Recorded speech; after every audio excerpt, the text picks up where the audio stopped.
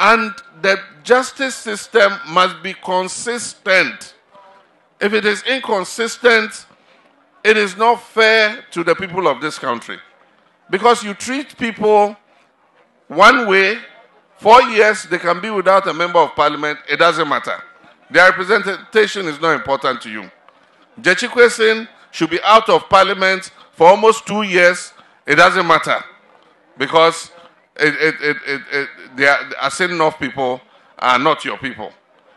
Then, when it comes to NPP MPs, the Speaker declares their seats vacant for one and a half months until we go to election. That one, it is unheard of. Their human rights are being affected.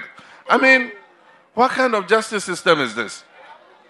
You know, and we believe that an injustice was done to the people of SALL, and it, as he said, it has been called the cardinal sin of the Fourth Republic.